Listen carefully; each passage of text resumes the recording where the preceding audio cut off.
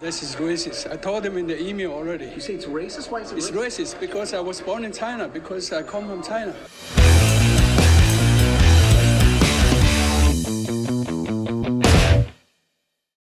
What do you do if you're a sitting politician and you are alleged to be involved in a foreign election interference scheme? Well, first, you deny the allegations. And second, you turn around and shout racism! Because that's what everyone does when they have nothing to hide. Back in Ottawa, things continue to fall apart for the Trudeau Liberals. After weeks of pressure, the feds have finally caved and are starting the process of developing a foreign agent registry. But who could have guessed? The number one concern for the federal government is to make sure they're not seen as racist. That's how you know they're really concerned about foreign election interference. Drop a like in the video, help us out by subscribing to the True North YouTube channel, and the comment question for the episode is this.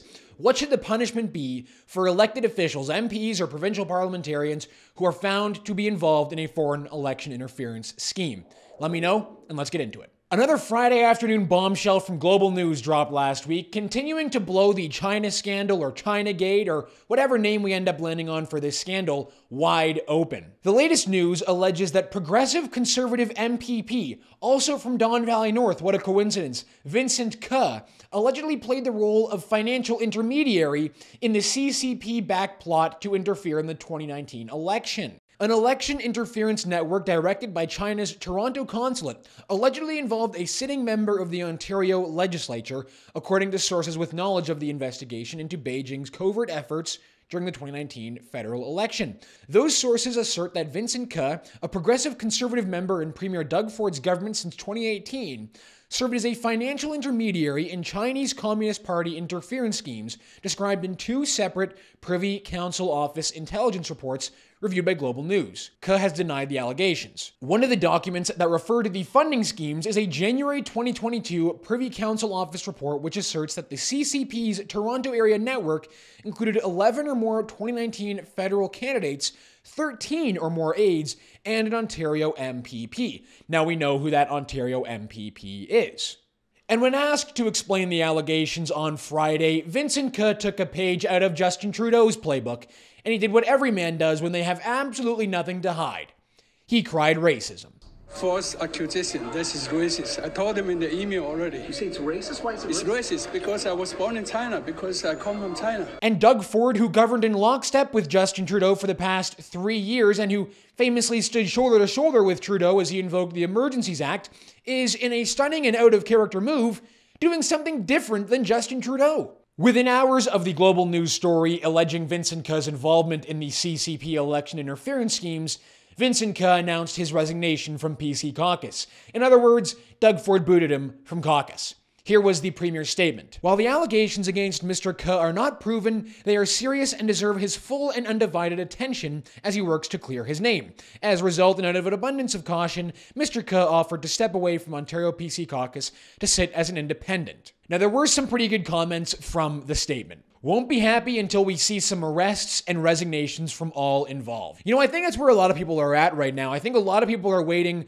for some real action here. Let's get an actual investigation, a criminal investigation. And how are we allowing these people, if they really were involved in this stuff, to sit in our legislatures? Weird how nothing like this is happening at the federal level. It is strange, isn't it? It is strange that uh, someone involved, someone alleged to be involved in this, is just sitting in Liberal caucus, enjoying life as a Liberal MP. Funny a provincial Tory was working to get the federal Liberals elected. Well, let's just say they're not really playing for the team we think they're playing for, are they? And as I mentioned at the top of the show, after weeks of pressure, the feds have finally caved and are starting the process of opening a foreign agent registry. Now, what's funny is if you go all the way back to when this scandal first started to unravel, a foreign agent registry was one of the reasons why the CCP allegedly backed the Liberals to win, because the Liberals were against a registry, and certain conservative MPs, like BC's Kenny Chiu, was a loud advocate for a foreign agent registry. Now it appears that all of that tough work that the communists allegedly put in to get the Liberals elected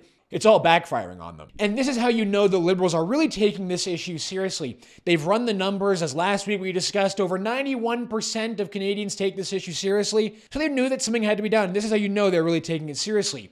Their number one concern with the Foreign Agent Registry is to not be seen as racist. If you don't believe me, take a look at this CBC article announcing the government's plans. Liberals to begin public consultations on setting up a foreign influence registry. The first line of the article International Trade Minister Mary Ng wants to ensure registry does not stoke anti Asian racism. The first line is not International Trade Minister Mary Ng wants to ensure that China stops meddling in our elections. The first line is that she's worried it might stoke anti Asian racism.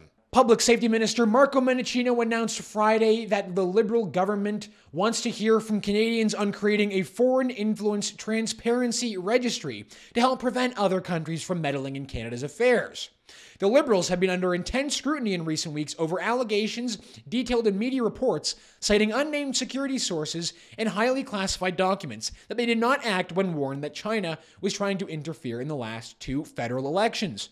International Trade Minister Mary Ng, who is Chinese Canadian, here we go, said it is important to create the registry in such a way that does not stoke anti Asian racism.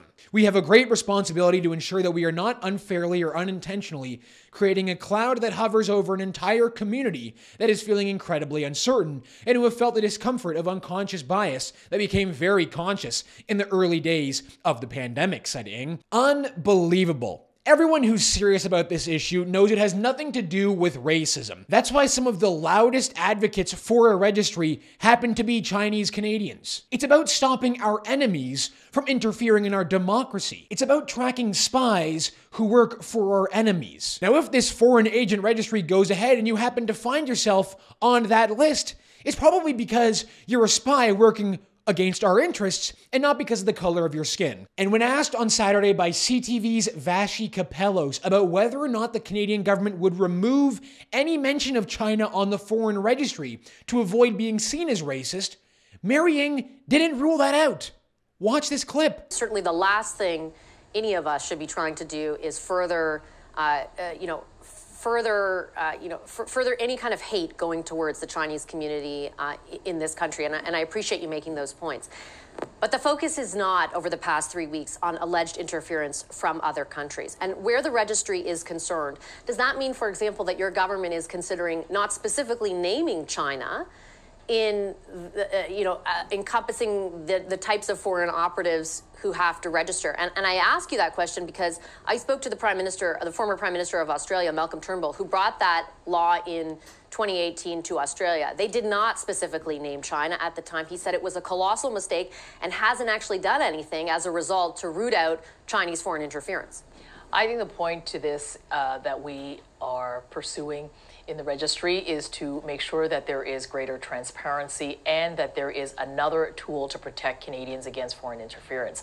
That's what this is. We're really serious about stopping election interference, but just to be safe, we might avoid mentioning the name of the enemy because we wouldn't want to be seen as racist. The story doesn't stop there for Mary Ng, the international trade minister. On Friday, Cheuk Kwan, the chair of the Toronto Association for Democracy, testified in front of parliamentarians. Besides calling for the establishment of a foreign agent registry, another Asian Canadian calling for a foreign agent registry, so racist. Kwan said that a lot of foreign interference takes place through the use of organizations set up by those who are close and friendly to the CCP. Two of those organizations happen to be the National Congress of Chinese Canadians and the successor to that organization, the Confederation of Toronto Chinese Canadian Organizations. According to Blacklock's reporter, Mary Ng has attended several events hosted by the Confederation of Toronto Chinese Canadian Organizations. And when asked to comment by Blacklocks, Mary Ng's office refused.